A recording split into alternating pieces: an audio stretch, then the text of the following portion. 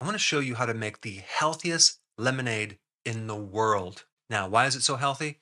Because it has zero sugars. Most lemonade has like seven and a half teaspoons of sugar. Let me show you how simple it is. You're basically going to take one cup of water, okay?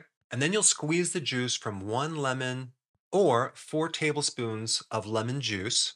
And lastly, you just add three drops of this liquid stevia. Now, it doesn't have to be lemon flavored, it could just be plain, but these three drops will make it very, very sweet and very, very delicious. And I promise you won't even know the difference between this lemonade and the sugar filled lemonade.